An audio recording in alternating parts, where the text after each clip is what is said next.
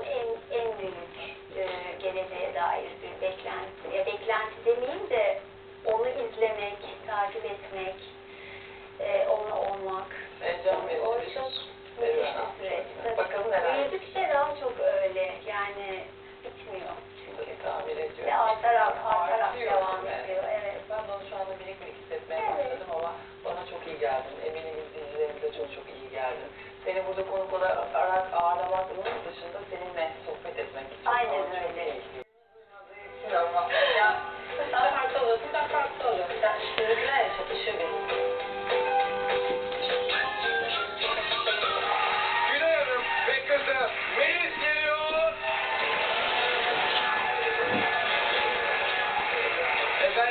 Hoş geldiniz. Melis yedi sağma. Anneciğim sizi soluma alıyorum. Hoş geldiniz. Hoş bulduk. Nasılsınız? İyiyiz. Siz? Vallahi sizleri gördüm. Gerçekten daha iyi oldu.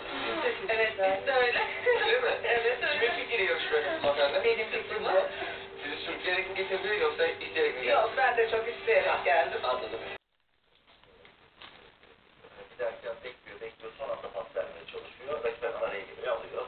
Böyle iş mi olur diye herkes de reaksiyon gösteriyor. Hatta işte Mustafa'dan daha şu anda kullanılabilecek durumda diye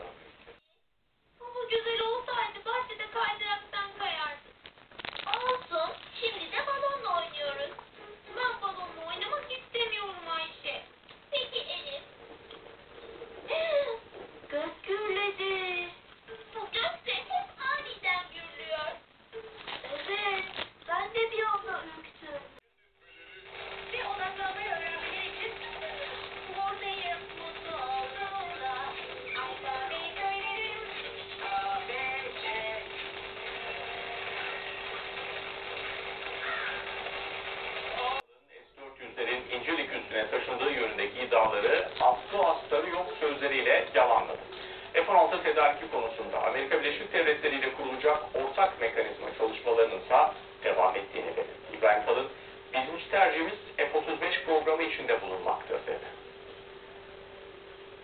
S-400 kendi mecrasında bir süreç olarak devam ediyor. Bunun teknik boyutları var, güvenlik boyutu var biliyorsunuz. E, İncirliğe taşındığı iddiaları da doğru değil. E, Bunların asıl astarı yok.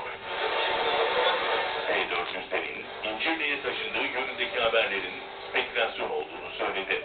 Amerika Birleşik Devletleri'nden F-16 tedariki konusunda ise Türkiye'nin beklentilerini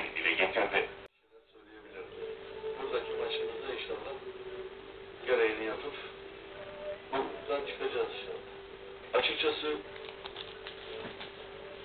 bizim hakemimiz olsaydı şu anda çok eleştirmiştik. Paramparça etmiştik. O kadar vakit geçiren bir takım ikinci yarı, ilk yarı. Dört dakika uzattı. Ne dört dakika oldu? Bir dakikasını verdi. Adama gülerler ya. Çünkü dört dakikayı normal öğrense belki görersin.